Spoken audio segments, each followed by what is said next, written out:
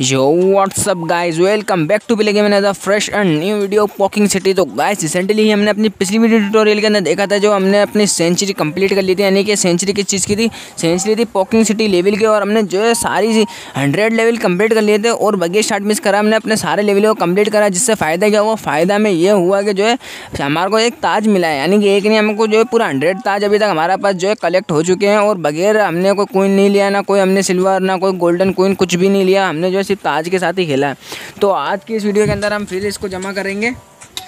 One hundred one से हमारा level start होगा तो जल्दी से स्टार्ट करते हैं बगैर टाइम वेस्ट करें।